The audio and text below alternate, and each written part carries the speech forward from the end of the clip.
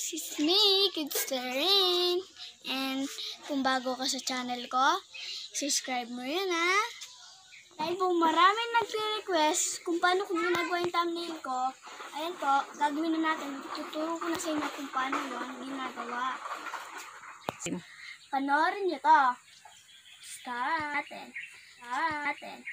Start.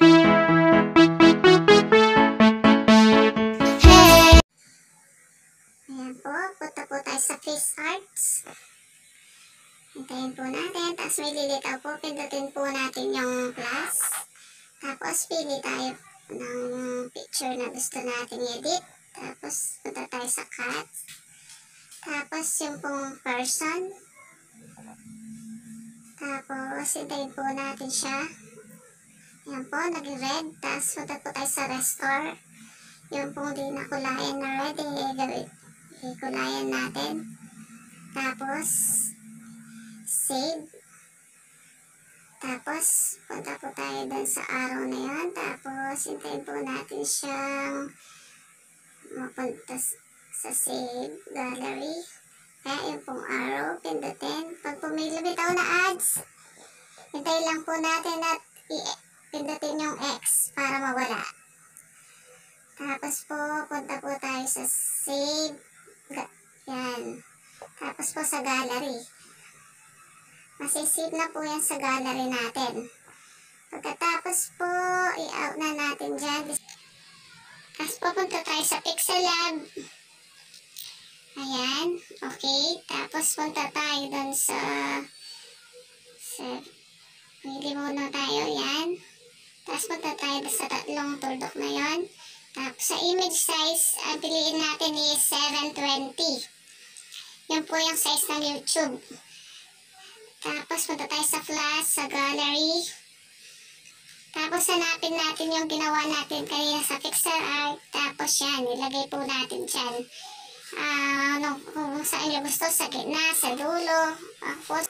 Ano sa dulo. Yan, ako ilalagay ko siya sa dulo kasi mas cute siya sa dulo. Kayo na pong bahala kung saan nilalagay.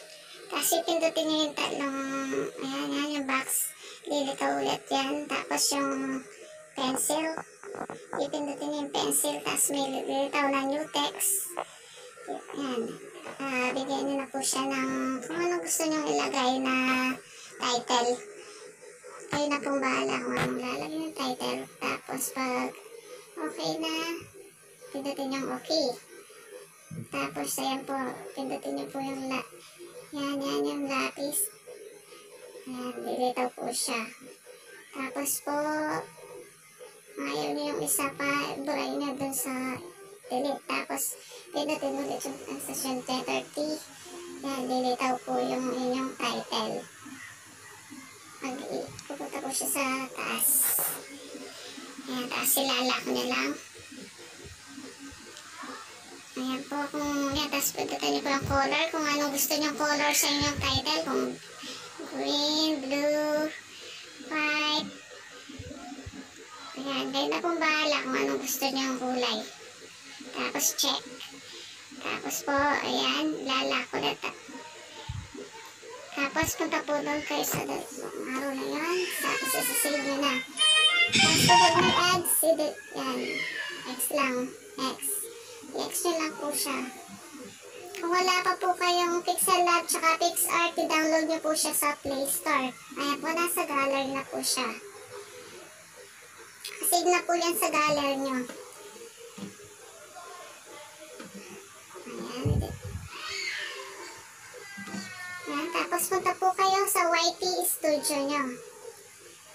Buksan nyo po yung YT Studio nyo. Pili po kayo kung anong gusto nyong palitan dyan. Ayan, i-click nyo lang. Tapos yung, ayan, i-click nyo po yung lapis. Tapos yung pa pong lapis na yan. Tapos yung pong chains. Pigitin nyo po yung chains. Tapos yung ginawa nyo. Tapos po yan, ilagay, nakalagay na po yan. Ayan na po siya nga. Yung pong ginawa natin kanina. Ayan, tapos save. Pindutin nyo po yung save. Ganyan po ang lilitaw. Tapos po, pipindutin ang save para ma-save yung ginawa nating thumbnail. Ayan na po siya. Tapos ayan, at na po natin siya. Tignan natin ang ating YouTube. Kung na-save na siya. Ayan po. Ayan, nakasave na po siya. Ayan na po ang ating thumbnail. Di po ba? Madali lang. Kaya, ayan na. Gawin niyo na po.